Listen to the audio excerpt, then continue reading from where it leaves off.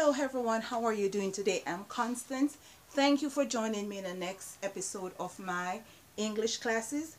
Happy New Year everyone. I hope you had a wonderful holiday and I hope all your wishes and dreams for this what 19 2019 comes through, all right?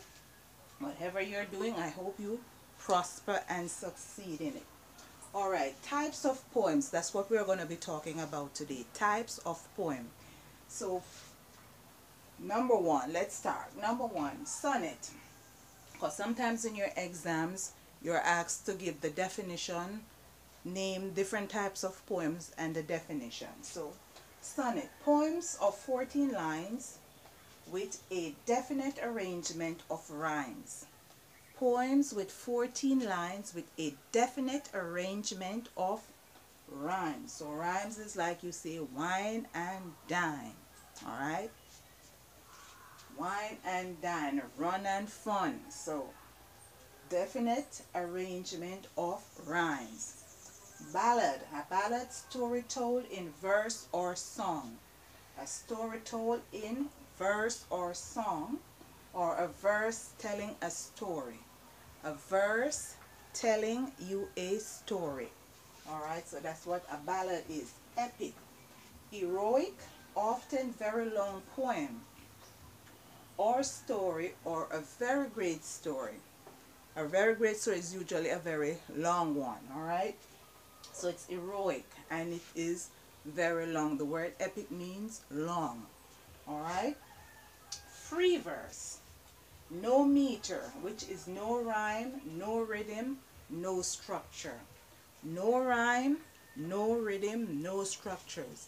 A lot of the rappers they use free verse okay? In their craft they use free verse all right? So it has no meter which is no rhyme no rhythm or structure. Storytelling. This is a little shifting. So I put an asterisk there. So storytelling. Narrative manuscript chronicle tale anecdote. So if you are asked to give a different name of a story. What is a different name of a story? You can say it's a narrative, it's a manuscript, it's a chronicle, it's a tale, folk tales. People talk about um, little stories that happened long time ago. Anecdote. Alright, a chronicle is a list of short stories.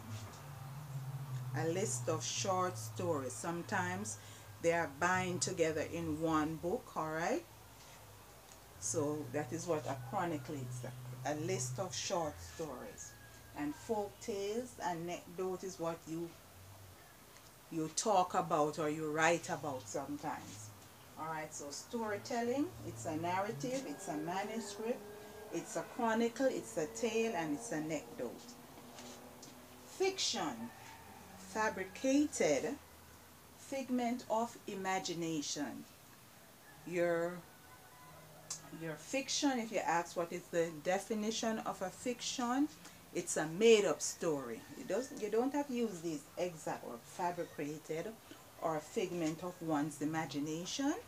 But, you know, you want to look good on your paper, you can say figment, figments of one imagine, imagination or it's a fabricated story or you can say it's a made-up story or an, an untrue. You don't really say an untrue story, but you say a story that is made up or it is fabricated or it's one from one's imagination.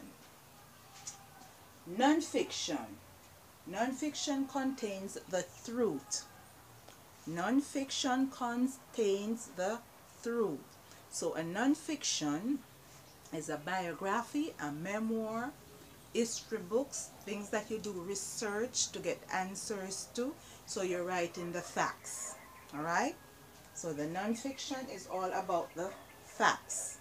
What has happened in the past or what is presently happening now, alright?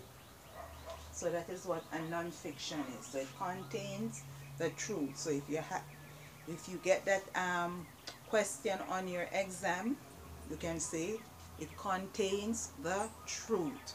Example, a history book, alright, or a science book all right? A memoir a biography. It contains the truth. All right? So those are examples. All right? So thank you guys for watching. Take a good look.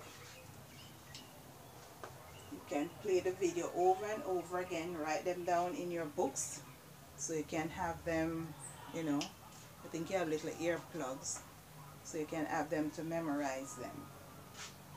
Alright so guys thank you for watching happy new year once again.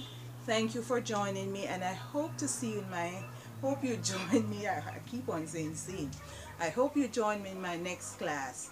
My name is Constance. Until then bye bye